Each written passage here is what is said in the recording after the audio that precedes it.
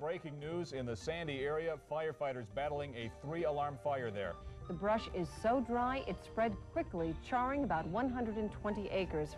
A fire in Provo Canyon is threatening homes. Utah is on track right now to have the worst fire season in state history. So far this year, 54,000.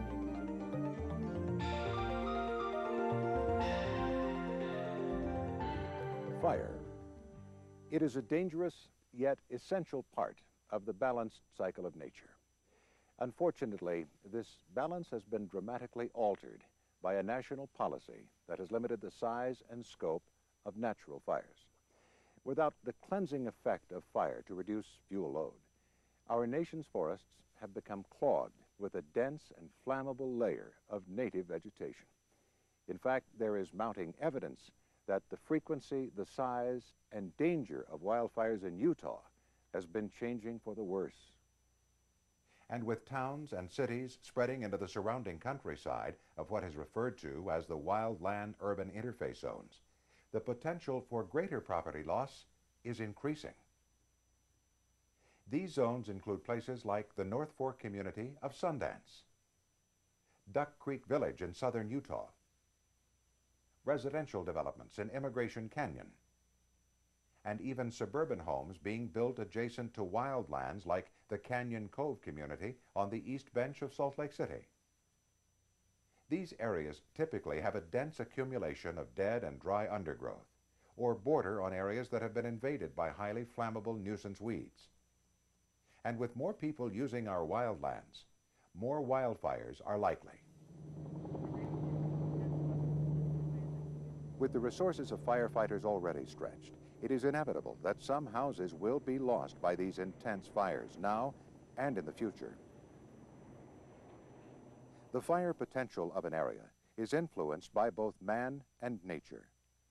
The human factors include the building materials that are used on houses and structures, available firefighting equipment and tools, community water system capacity, the roads serving an area, and the homeowner's landscaping decisions. The nature-related factors include the influences of weather, topography, and fuel. Of all the natural influences, the fuel source, or the vegetation, is the only one that we really have any control over. These fuels typically consist of native and ornamental trees, shrubs, grass, and even flowers. With the addition of dead trees, dried grass, fallen branches, and pine needles, the situation can become explosive. And once a fire gets started, even a house, your house, can become a source of fuel. Well, one of the reasons we had purchased this home was because of the um, vegetation that surrounded it. We wanted the, the look of the uh, natural forest, you might say, and never realizing the potential of a fire. If we would have known the potential living here in Utah with, you know, the dry summers, and we would have definitely ensured that we would have had some little bit more knowledge of what kind of plantings that we should probably have here at our house, you know, especially where the fire had started. Definitely could have probably prevented such a disaster that occurred here. To protect your family, property, and community in the event of a wildfire, there are 10 essential guidelines that all property owners should follow. Although these steps won't necessarily prevent a wildfire, they can reduce its intensity and slow its speed, making it easier for local authorities to control. As a result, this can save lives and minimize property damage. Over the next few minutes, you will meet firefighters from across the state, Forest Service officials, and a community activist, all who have been working to reduce the fire danger to communities throughout the state. They will highlight resources and offer suggestions on preventative measures you can take to protect your house and family before a wildfire occurs.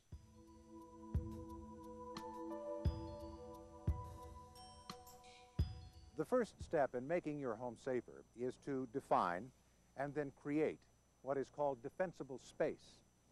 For some tips on just how to do this, we've consulted with Dan Andrus of the Salt Lake City Fire Department. So Dan, tell us about the concept. Defensible space is simply that area between the home and the surrounding wildland where the vegetation has been modified to reduce the wildland fire threat. how do we as homeowners create this defensible space? The first thing you do is you take a look around your property to find out what kind of vegetation is around it. Here in City Creek Canyon, for example, much of the vegetation dries out as the summer progresses.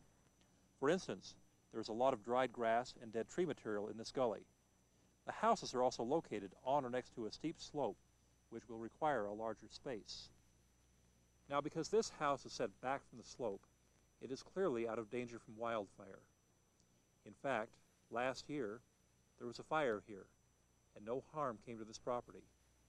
However, the house next door was lucky to escape damage due to the amount of flammable vegetation surrounding it. Right now, this is just a really, really dangerous situation. Uh, we have four homes burning right now and the possibility of, of others possibly catching fire. Uh, For instance, two houses in the Sandy area were destroyed as a result of being located on a steep brush-covered slope. The fire went from the grass to the trees next to the houses, starting them both on fire. Depending on the slope and vegetation, the recommended minimum defensible space will vary from a 30-foot perimeter for level lots such as this one, and up to a 150-foot perimeter for sloped lots. That makes a lot of sense, but I've seen some of these homes literally surrounded with this wild vegetation. What can these homeowners do? This is a particularly dangerous situation since wild plants occur in dense layers. This increases the fire threat. The solution lies in separating trees and small groups of shrubs to reduce the fire risk and slow the spread of flames. For instance, break it up can be achieved through the use of non-flammable products, such as crushed rock or mulches. Both help to retain ground moisture and keep flammable nuisance weeds down. The construction of hard surfaces, such as patios, sidewalks, driveways, as well as rock and brick walls, also help to slow the spread of flames. When landscaping or firescaping your yard, keep some distance between ornamental plantings so that a fire cannot spread from adjacent native vegetation to the structure. Some great suggestions, Dan. Thanks very much.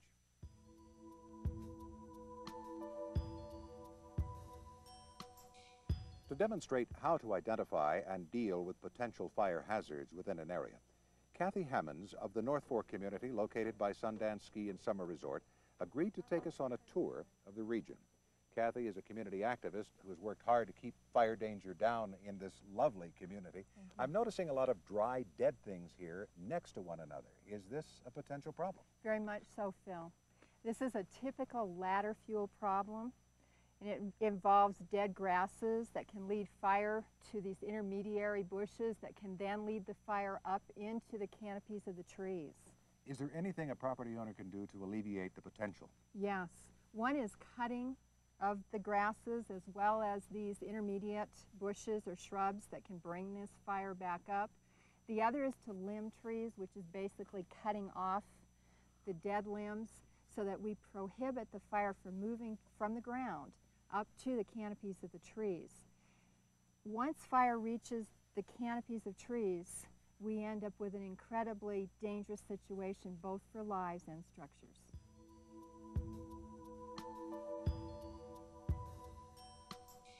Okay, so the homeowner has cleaned out all the ladder fuels affecting his property. What else can they do to protect themselves? One of the best things they can do is to create defensible space, and that's to clear out 30 or more feet around their property. We call that lean, clean, and green. Explain and show me what you mean by lean, Okay. clean, and green. Here's a good example right here, Phil. The concept of lean makes use of low-growing, fire-resistant plants. Ideally, and where permitted, most wildland shrubs and trees would be removed from the zone and replaced with more desirable alternatives. For replacement plants, minimize the use of coniferous shrubs and trees such as juniper, spruce, fir, and mugo pine. These plants have oils and resins and waxes that make them burn with great intensity.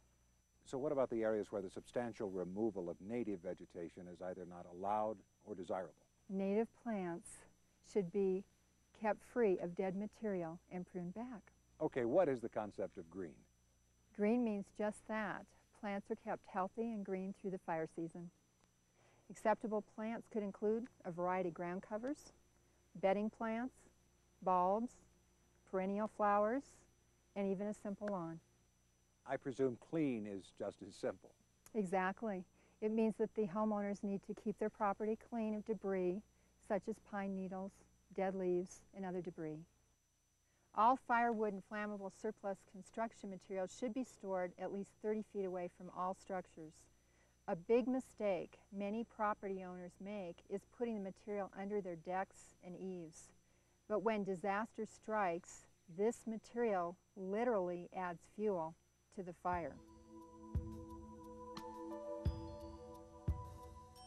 Once a homeowner has created that defensible space we talked about, is there anything else they need to do? One of the biggest things that they have to continue to do is to maintain that defensible space. They've got to clean out regularly, they've got to rake, they have to mow, they have to make sure that they're watering if necessary, they have to make sure that they maintain that defensible space.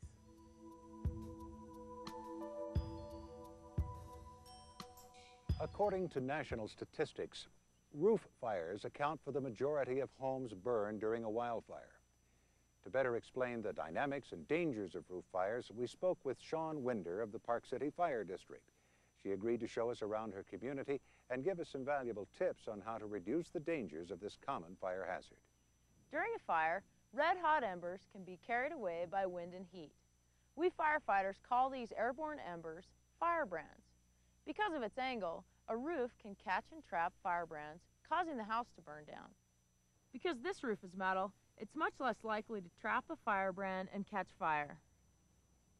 To reduce the danger of your roof catching on fire, at least twice a year, homeowners should clean all dead leaves, pine needles, and other debris from their roof and gutters. These materials provide a combustible bed for even a small spark to become a major fire. Homeowners should keep limbs and branches trimmed back a minimum of 15 feet from their chimney. Even green and healthy branches pose a hazard to the structure. Next, they should cover the chimney or stovepipe outlet with a mesh spark arrestor. If your roof is made of shakes or other flammable material, it would be a good idea to replace it with one that has a better fire resistance. Materials such as steel, slate, certain grades of fiberglass shingles, and the new resin composites, which are made to look like slate or shakes, would all be good choices. Shake shingles that have caught fire can also become wind-driven firebrands. During a fire, they are often carried blocks away, landing on other houses and shrubbery. This spreads the fire, causing more damage. Here in Park City, we have required new construction in heavily wooded areas to install sprinkler systems under the eaves. When the surrounding vegetation catches on fire and threatens the structure, the sprinklers are automatically activated.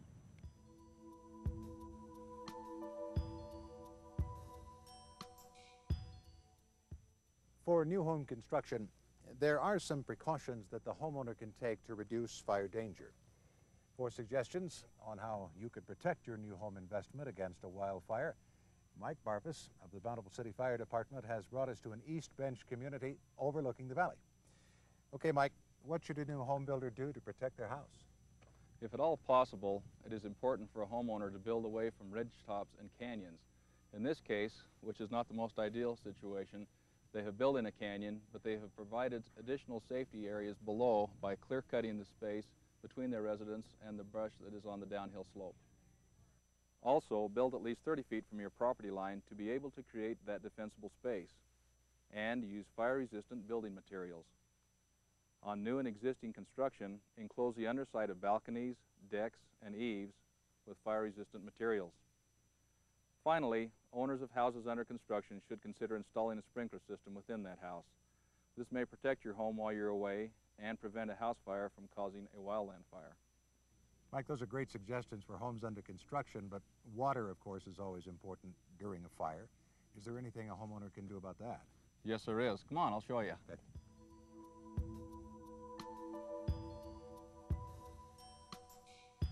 Mike, this home is located an awfully long way from the road. I mean, what do you do for a water supply when a home is this far back? This homeowner has installed the required on-site fire hydrant for that water supply.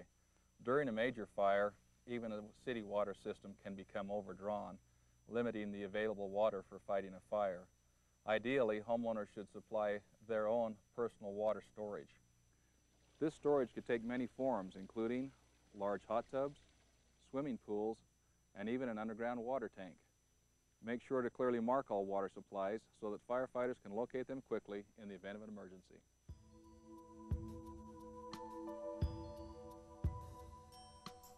So what else can a homeowner do to protect their home, make it survivable in the event of a wildfire? Homeowners should fireproof their access roads and driveways. This helps in the case of both them exiting in the event of an emergency and the access for firefighters and fire apparatus to fight the fire on their property. How about this homeowner? What has he done right? This homeowner is totally compliant, has built a minimum 20-foot wide driveway, has cut the vegetation back on both sides, has marked it adequately, and provided us quick and easy access to his home. Driveways and roads that are too narrow or those that have sharp turns on steep slopes complicate access for fire trucks and may even create an accident. Equally important is an alternative route of exit in the event the main road is impassable as a result of high heat from the fire. Long personal driveways like this one should have at least a 60-foot turnaround to accommodate fire engines. If your house is not visible from the road, make sure that your address is clearly displayed on a fireproof sign at the road, not just on the house where it is often obscured by thick vegetation. Finally, homeowners should firescape their driveway corridors by eliminating flammable plants along the edges. In the event of a fire, thick, heavy smoke limits visibility and high flames and heat could prevent the safe exit of residents and hinder the access of fire vehicles to their home. Those are some great tips, Mike. Thanks very much. Thank you. To give us some more important information on what to do in the event of a fire, we spoke with fire prevention technician Matt Bueller. He's with the U.S. Forest Service of the Cedar City Ranger District.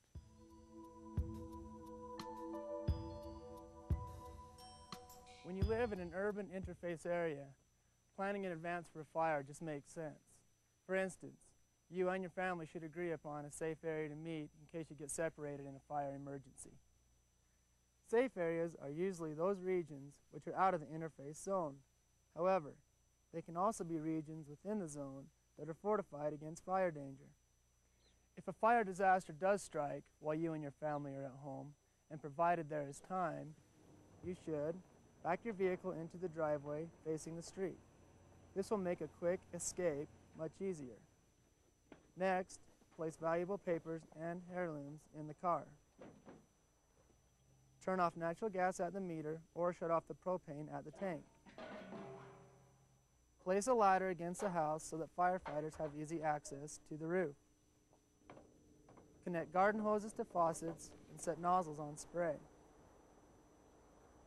Close all windows as well as exterior and interior doors.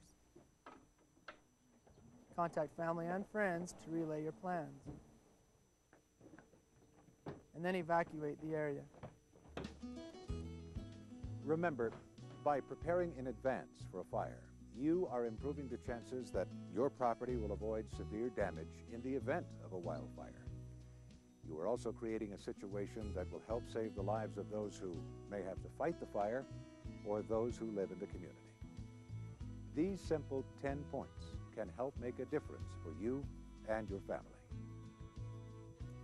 Create a defensible space. Break it up. Eliminate ladder fuels. Keep it lean, clean, and green. Maintain your space. Check your roof. Construction and location. Fireproof your signs and access. Have an emergency water supply. Have a plan. For more information on how you can make your home and community fire safe, please refer to the publication Living with Fire, available through your local Forest Service office, your city or county fire department, the Bureau of Land Management, or the Utah State Department of Natural Resources. Your city or county fire department will also make free on-site visits to individual houses or community meetings to provide some valuable suggestions on how to make your area fire safe. These dedicated professionals are here to help you and your community avert disaster in the future. Remember, you're part of the solution to keeping your community safe by eliminating fire danger in and around your home.